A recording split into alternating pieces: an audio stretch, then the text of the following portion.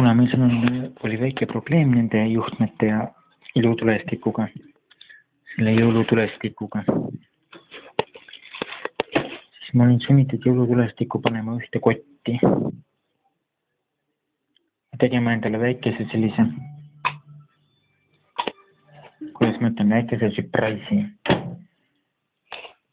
vot selline, mina nimetan sellise asja jõulumehe kingikotiks Need tuled lihtsalt töötavad kõik siin sees, ühe koti sees, sest mul lihtsalt teist võimalust ei ole, kuna need ilutulestikud on, see jõulutulestik on nii sassi läinud, need juhtmed on nii puntras, siis mul ei olnudki lihtsalt teist võimalust, kui ma pidin panema nad siia niimoodi koti sisse.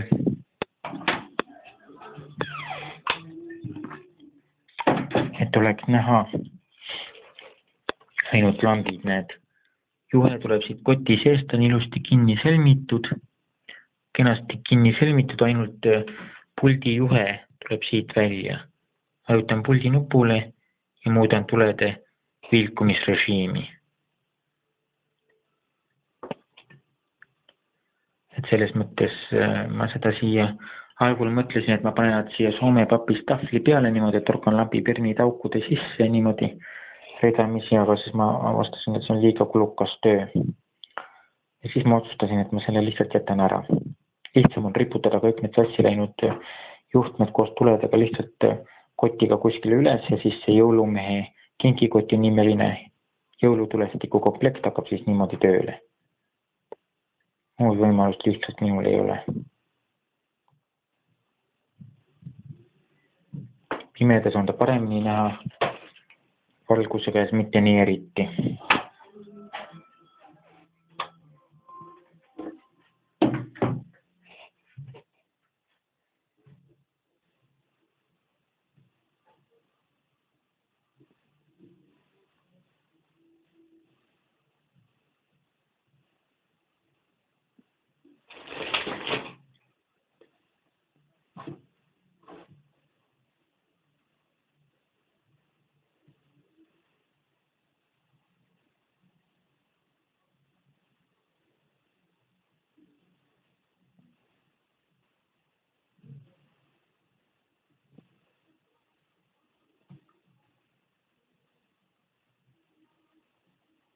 vot niimoodi, sellega on siis praegu see video läbi.